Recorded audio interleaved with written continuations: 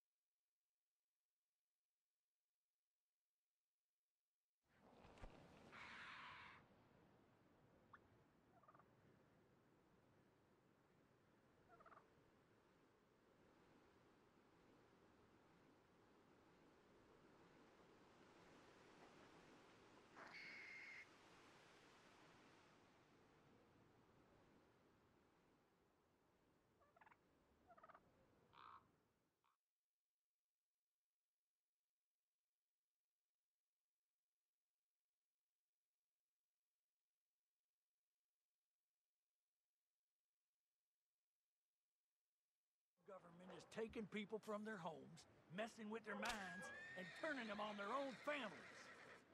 Well,